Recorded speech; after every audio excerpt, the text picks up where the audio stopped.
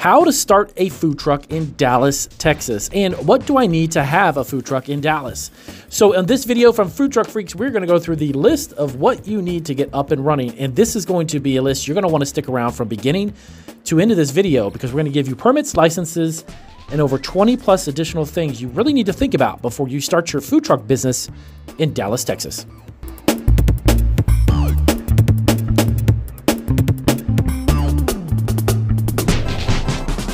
All right, so welcome back to Food Truck Freeks. We are YouTube's premier food truck business entrepreneur channel.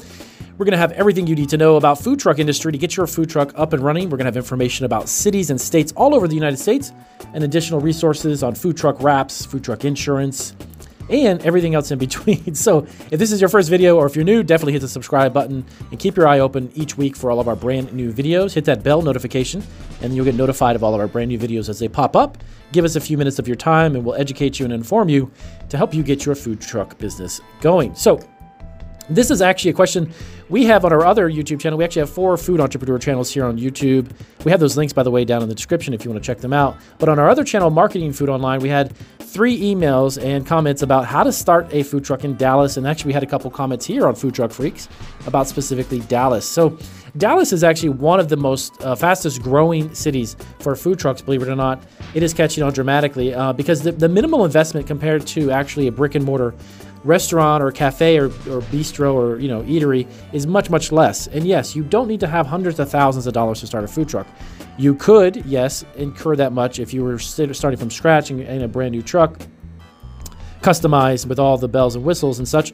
But you can buy a used truck, guys. You can get one and have to maybe retrofit a couple items inside without getting into the $200,000 range or even the $100,000 range. So don't get discouraged if you have friends or family or people telling you that you need to almost be a millionaire to start a food truck. That's nonsense. So let's dive right into it specifically. So Dallas, here's a few things you need to know.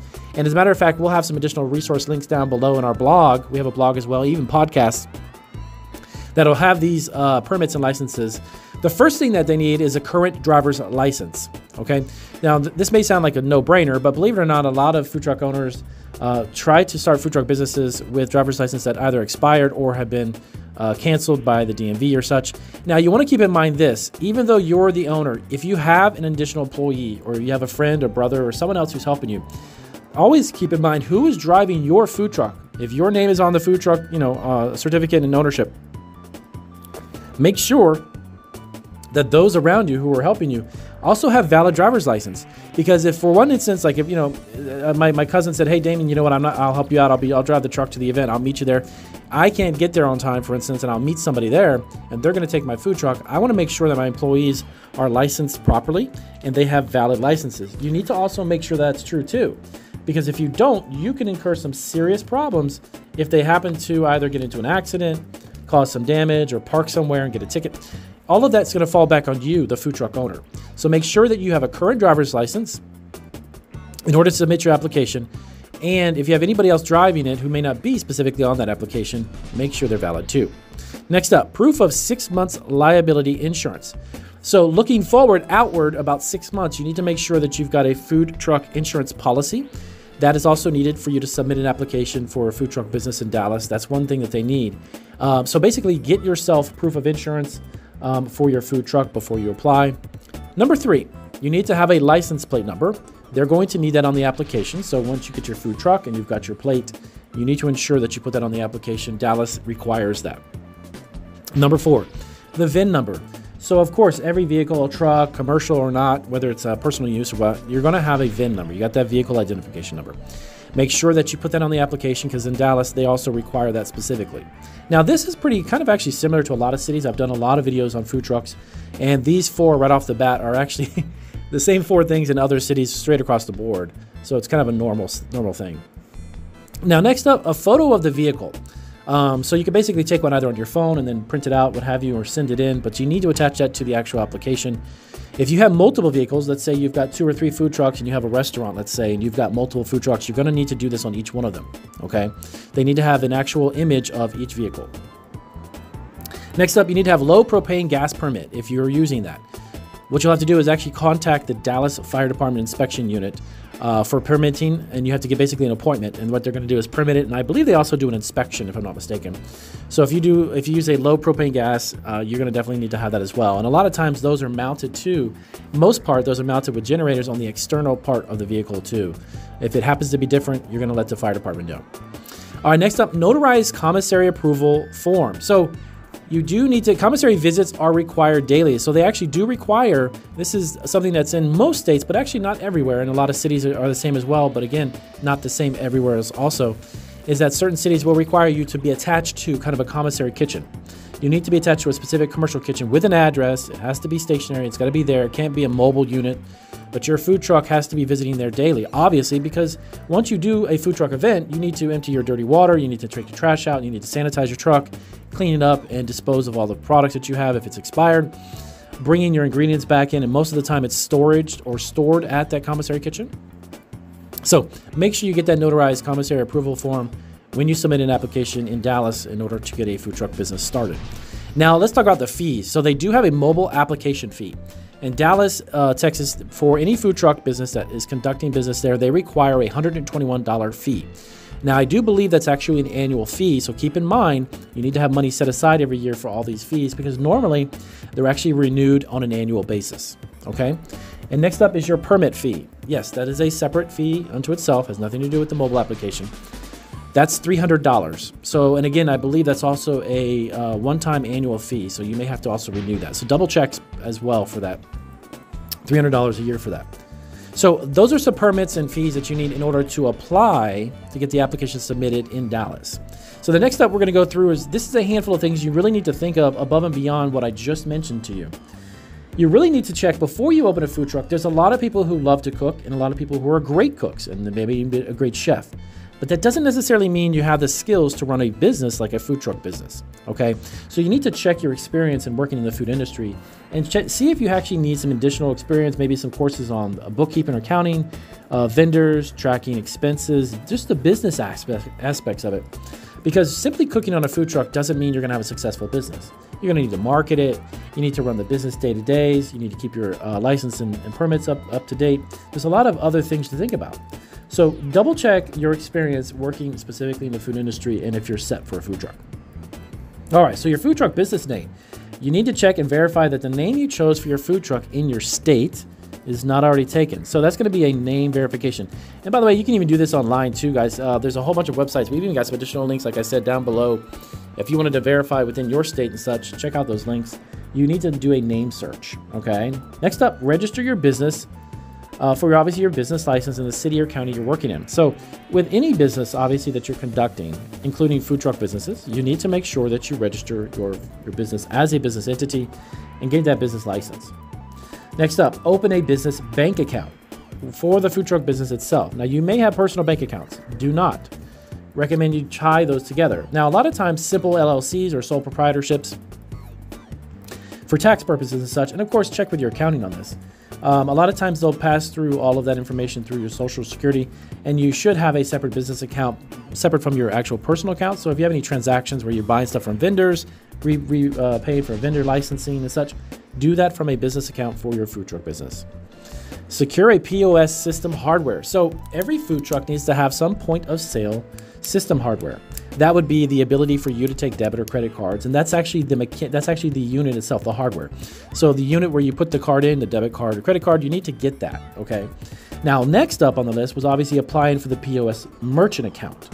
Keep in mind that getting pos system hardware is one thing. Having the pos merchant account is a totally different thing. That's the company that's going to process the payments. You can't just simply have the unit itself the hardware to take debit and credit cards. You need to process them right Next up, you need an application for your taxpayer ID. Now, your business, your food truck business, needs to also have its own taxpayer ID. You need to ensure that you get that, and I think that's actually needed before you even begin to up, open up and even start to sell products, even after you've had your inspections. You need to actually have that up and running, okay? So next up, food truck registration as a commercial vehicle. So in most cities and counties, you'll also need to register that specific vehicle as a commercial. It's not going to be a uh, personal use vehicle. And that's a big difference because the type of registration that the truck has may vary on the type of license you can get.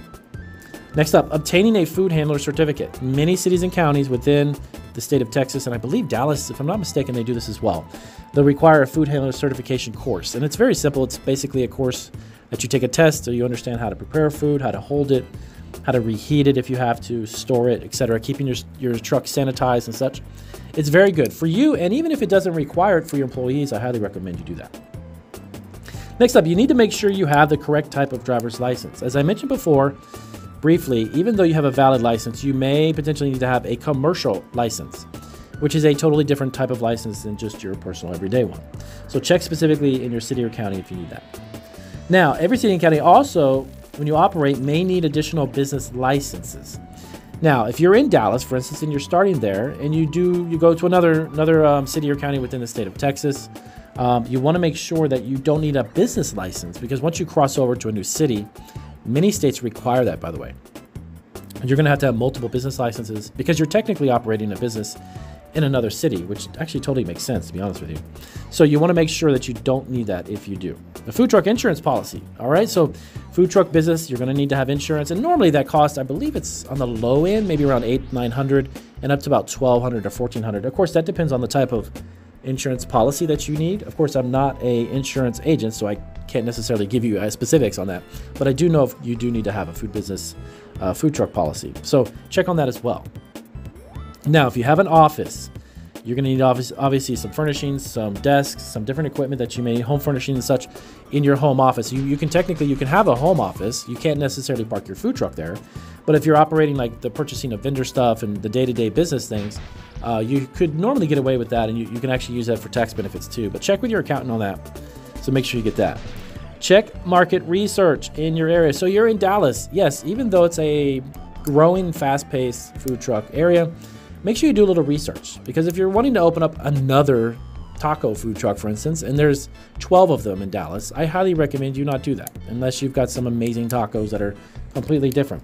You want to try to do something that might be popular, a type of food, but try to do a new take on it, something new spin on it, because just serving the same old thing is not going to be really exciting and something unique. But do something that's unique about your particular menu. All right, so next up, you need to generate some investment funds. You are going to need some funds, obviously, to buy the truck, get it wrapped, customize it. There's a lot, obviously, that goes along. You want to check out your finances. Now, of course, you can check with family and friends. You can look uh, what type of credit cards you may have. I wouldn't recommend personally. I've done this and I've gone down this road. Try your best to leverage other people's funds and, of course, have the ability to pay it back, not just borrow it. But using credit cards or cashing in 401ks, there's a big interest on that and there's a big risk.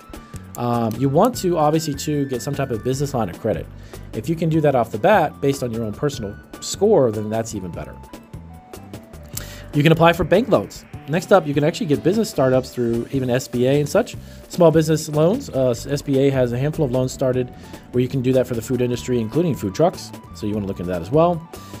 Create an employee handbook. Now, this doesn't have to be something that's as thick as the dictionary, guys. It could be very simple. It doesn't have to be a really big book. But creating a simple handbook is great because you're going to give your employees and those working with you an expectation. They're going to understand what is expected of them, right? And to be honest with you, if you're going to function a food truck and you want it to grow and be obviously profitable, everybody needs to be on the same page and understand what they're doing. So that is a very simple employee handbook. And believe it or not, there's even websites where you can create these online for free. All right, now here comes some pretty cool stuff. Now you get to design a food truck logo. Keep in mind your branding concept. So if you want to create a food truck business in Dallas, you're going to need to have a logo for your food truck, obviously. And you may down the road start to sell merch, you know, like t-shirts, hats, backpacks, mugs, maybe any anything that you could put that really cool logo on. So keep that in mind. Now you got to create the food truck food truck wrap. Sorry about that. The food truck wrap. That's going to be the external part of your food truck. You want to keep in mind bright colors, easy to read, something that's eye catching. Because if you're in a food truck event and you've got 20 other food trucks around you and you're the one who's sticking out because of your bright colors, a lot of people are going to be interested hey, what the heck is that guy selling over there? Look for something that's easily legible. The font, the style of the word, and the text on the truck is easy to read. I would not recommend permanently putting your menu, though, on your food truck. Do it on a menu board. Because down the road, if you change or fluctuate your menu and you permanently have it on the side of your truck, there's no really way to change that, okay? So doing a menu board is really a no-brainer because you can, as the seasons change, in Dallas, I know that's relatively hot year around the year, But if you have different seasons, you need to roll with the punches and kind of check it out and see what you got and if you can change it. But you can't do it if you permanently put it on your truck. All right, next up, try to find an assistant, either sous chef or cook. If it happens to be a family member, or brother, whatever it is, just find someone else who can cook the same things you make because you may potentially be either sick one day or maybe you're out of town. But if you can operate your food truck when you're not there or have someone help you operate it, that is fantastic. That's a great idea. So find someone who can cook the products that you make. All right, next up, you obviously buy, rent, or lease a food truck. So if you're going to get a food truck, guess what? You don't really need to buy one. There's actually the ability to rent or lease, and that makes really even better sense because you're not really going to tie down to some type of vehicle note. Purchase all cups and cutlery accessories to eat and serve your food. So you're going to need, obviously, keeping in mind when you launch, you're going to have to have small wares, it's known as. These are utensils, forks, knives, plates, napkins, and so on, right? Cups.